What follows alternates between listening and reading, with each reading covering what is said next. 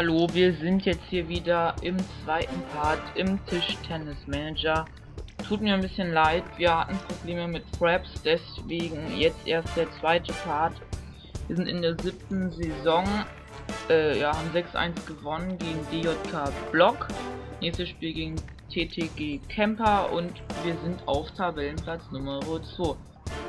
Schön, schön, schön erstmal einen schönen Sponsor reinhauen. Also es tut mir wirklich sehr leid wegen dem wegen dem kleinen Problem mit Fraps. Wir hauen auch erstmal eine schöne Erholung rein aussetzen.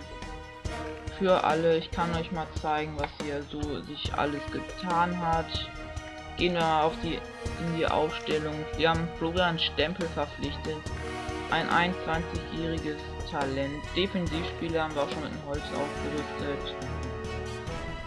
Ja, läuft ganz gut hier. Wir haben, wenn mich nicht alles täuscht,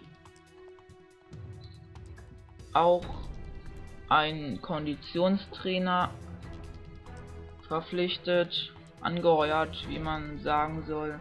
Den Konditionstrainer werde ich jetzt auch gleich mal in einen einfachen Lehrgang schicken.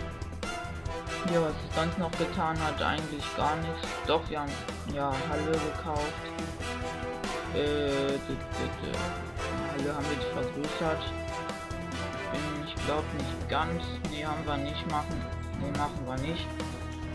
Äh, ja, wir können mal in der Meisterschaft, ob ich da habe ich glaube ich nicht teilgenommen. Meist Jugendmeisterschaft.